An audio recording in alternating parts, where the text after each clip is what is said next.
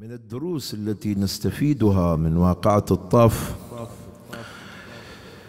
درس التنافس الإيجابي والتسابق في مضمار الطاعة لله عز وجل حيث كان أصحاب الحسين وأهل بيته يتسابقون إلى المنية دونه.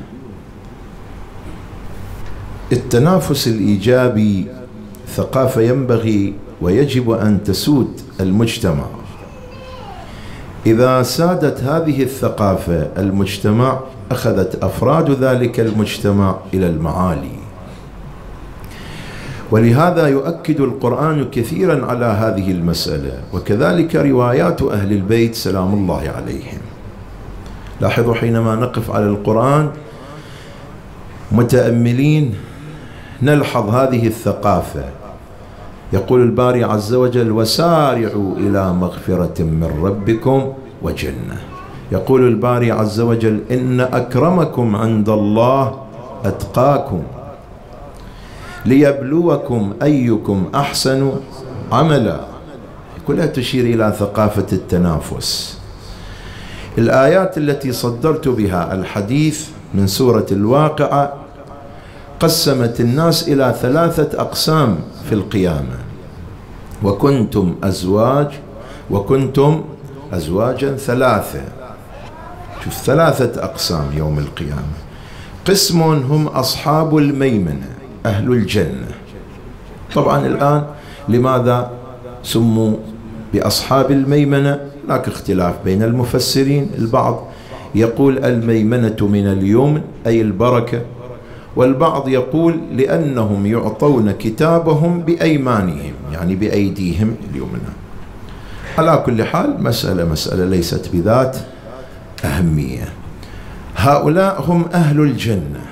أصحاب الميمنة ما أصحاب فأصحاب الميمنة ما أصحاب الميمنة. زين القسم الثاني أصحاب المشأمة. من الشؤم والمستجار بالله وهم أهل النار. زين هل هناك قسم ثالث بين هذين القسمين؟ القرآن يقول والسابقون السابقون. إذا هؤلاء لهم موقع خاص في القيامة. هم طبعا من أهل الجنة ولكن لهم استثناء هؤلاء. استثناءهم لأنهم يمتلكون هذه الثقافة ثقافة التنافس التسابق التسارع. في مضمار الطاعة والعبادة لله عز وجل. في الرواية عن النبي الأعظم صلى الله عليه وآله يخاطب عليا عليه السلام. يقول بعد أن يتلو الآية المباركة يا علي هم أنت وشيعتك. يعني المتسابقون المتسارعون في مضمار الطاعة لله عز وجل هم أنت يا علي وشيعتك. لكن السؤال المهم من هم شيعة علي؟ هنا السؤال من هم شيعة علي؟ شيعة علي مو بالمعنى الم... الشائع اليوم المركوز في أذهان الناس اليوم. شيعة علي صنف خاص من المحبين والموالين لأمير المؤمنين سلام الله عليه. وهم الذين لم يخالفوا أوامره ولم يرتكبوا شيئا من فنون زواجره كما يقول الإمام الرضا سلام الله عليه. الإمام الرضا يقول هم الحسن والحسين وعمار وسلمان والمقداد ومحمد بن أبي بكر هؤلاء هم شيعة علي في الرواية لا تخلو من فائدة حينما نقرأ نص الرواية حيث توجد فيها نكات متعددة. هذه الرواية. الإمام سلام الله عليه جاءه جمع من مواليه ومحبيه وأرادوا الدخول عليه. أرادوا الدخول على الإمام سلام الله عليه. طبعا الإمام في البداية طبعا الذي تلقاهم هم حاجب الإمام من كان على الباب. فسألهم ماذا تريدون؟ قالوا نحن من شيعة علي بن أبي طالب. فلما ذهب الحاجب إلى الإمام سلام الله عليه البواب طبعا إلى الإمام سلام الله عليه قال اصرفهم فإني مشغول عنه. فصرفهم. فلما كان في اليوم الثاني جاءوا إليه. سلام الله عليه وقالوا مثل مقالتهم الأولى. فقال الإمام سلام الله عليه مثلها يعني أصرفهم. فصرفهم. فما زالوا مدة شهرين كاملين يوميا يأتون إلى باب الإمام والإمام يصرفهم. حتى ضاق عليهم الأمر. حتى ضاق عليهم الأمر. لما ضاق الأمر عليهم جاءوا يشكون إلى الإمام سلام الله عليه. فأذن لهم الإمام بالدخول. لما دخلوا يقول الراوي لم يأذن لهم الإمام سلام الله عليه بالجلوس. سلموا ولم يأذن لهم الإمام بالجلوس. فقالوا سيدنا ما الذي بدر منا؟ ما الذي حصل؟ فقال سلام الله عليه. طبعا تلا الآية المباركة. وما أصابكم من مصيبة فبما كسبت أيديكم. إنما اقتديت بربي وبجدي رسول الله وجدي أمير المؤمنين. ومن بعده الأئمة من بعده آبائي الأئمة. فقالوا ما الذي بدر منا؟ فالإمام قال لهم لقد ادعيتم أنكم من شيعة علي بن أبي طالب. ويحكم أتعلمون من هم شيعة علي بن أبي طالب؟ إنما شيعته الحسن والحسين وعم وعمار والمقداد وسلمان وأبو ذر ومحمد بن أبي بكر. الذين لم يرتكبون الذين لم يخالفون أوامره ولم يرتكبون شيئا من زواجر فنون من من فنون زواجره. وأما أنتم إذا ادعيتم هذه الدعوة وأنتم في أكثر أوقاتكم مخالفون له. استطرد الإمام سلام الله عليه. ولو قلتم أن من محبيه ومواليه لما استنكرت ذلك منكم. فقالوا نقول كما علمنا سيدنا وإمامنا. فاستبشر الإمام فرح الإمام. قال إلي إلي حتى أدناهم منه. وقال للخادم كم مرة حجبتهم؟ قال ستين مرة. قال فاختلف إليهم ستين مرة وحيهم شوف هنا نقف على شيعة علي بن أبي طالب الحقيقيين الذين لا يخالفون أوامر أمير المؤمنين سلام الله عليه. على كل حال التنافس الإيجابي والتسابق في مضمار الطاعة لله عز وجل ثقافة يجب أن تسود في المجتمع. والحياة الدنيا مضمار سباق بين المؤمنين كما يستفاد من الروايات الشريفة. يقول الإمام الصادق سلام الله عليه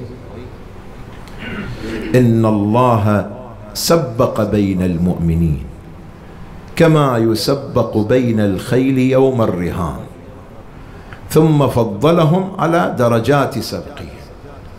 شوف إن الله سبق بين المؤمنين كما يسبق بين الخيل يوم الرهان شايفين؟ في مضمار السباق الخيل كل فارس ينافس الفارس الآخر ليحصل على الدرجة الأولى لينال الجائزة. يقول الإمام سلام الله عليه الله عز وجل خلق الحياة الدنيا لتكون مضمار سباق للمؤمنين. مضمار تنافس. لكن أي التنافس؟ التنافس الإيجابي مو التنافس السلبي. التنافس السلبي يقوم على أساس الحسد يقوم على أساس الضغينة والمستجار بالله. أما التنافس الإيجابي فيقوم على أساس المحبة. كل مؤمن ينافس أخاه المؤمن في مضمار الطاعة لله عز وجل. يريد أن يصل إلى المرتبة الأعلى وهذا لا ضير فيه بل هو مطلوب لأن الله عز وجل جعل الحياة الدنيا مضمار سباق بين المؤمنين. وفضل المؤمنين على حسب درجات سبقهم على حسب درجات السبق بين المؤمنين. زين هنا نقف على هذا السؤال. لماذا يؤكد القرآن يؤكد أهل البيت سلام الله عليهم على ثقافة التنافس؟ يؤكدون على ثقافة التنافس حتى يحصنون هذا المؤمن من السقوط. حتى يضمنون لهذا المؤمن النجاة في الآخرة. كيف؟ شوف مثلا تتصور عندك ابنان ولدان. أحدهما يمتلك روح التنافس الإيجابي والآخر لا يمتلك هذه الروح. في الدراسة في المدرسة. أحدهم لا يرضى إلا بالعلامة الكاملة. إذا يجيب 99 من 100 يصاب بالهم والغم والحزن. بينما الآخر يقول لا. كم درجة النجاح؟ يقول له خمسين. يقول فقط. أريد خمسين حتى خمسين ونص ما أريد. يعني يفتقد روح التنافس الإيجابي إذا جاء يوم الامتحان ودخل هذان الولدان إلى قاعة الامتحان. سؤال بسيط. على من تخاف؟ تخاف الأول على الأول أو تخاف على الثاني؟ واضح جدا. الأول سوف ينجح بل سوف يصل إلى درجة الامتياز. عنده هذه الروح. بينما الثاني الثاني لا. هو في قاعة الامتحان ويدك على قلبك. تقول ينجح أو ما ينجح. صلوا على محمد وعلى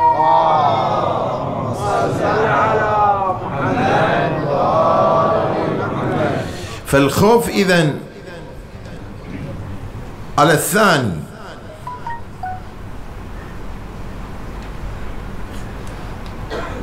زين. فالخوف إذا على الثاني مو على الأول لأن الأول أنت مطمئن تمام الاطمئنان من نجاحه. الثاني تخاف عليه لأن الثاني يفتقد إلى روح التنافس الإيجابي. ولهذا أهل البيت سلام الله عليهم. أهل البيت حينما يأمروننا بالتنافس الإيجابي في مضمار الطاعة لله سبحانه وتعالى فلماذا يأمروننا بذلك؟ يأمروننا حتى يضمنون لنا السلام في الآخرة. لأن هذا المؤمن إذا امتلك روح التنافس الإيجابي سوف لن يرضى إلا بالكثير الكثير من القيم والكمالات. لن يقنع بالحد الأدنى من مراتب الطاعة لله عز وجل. بل سوف ينظر إلى ما هو أعلى من ذلك بكثير. من هنا نجد الثلة التي خرجت مع الحسين سلام الله عليه. هي الصفوة التي انتخبها الحسين سلام الله عليه. كانت تتمتع بهذه الصفة صفة التنافس الإيجابي والتسابق. إلى نيل المعالي. صغيرهم وكبيرهم سيئا. صغيرهم وكبيرهم سيئا. حبيب بن مظاهر ذلك الشيخ الكبير الذي بلغ الثمانين. برير الهمداني ذاك الشيخ الكبير الذي بلغ التسعين كما في بعض المصادر. كان يتمتع بذلك النشاط والهمة العالية والتسابق دون التضحية. دون الحسين سلام الله عليه وكذلك عمرو بن جنادة هذا الصبي اليافع أيضا يتسابق للموت دون الحسين.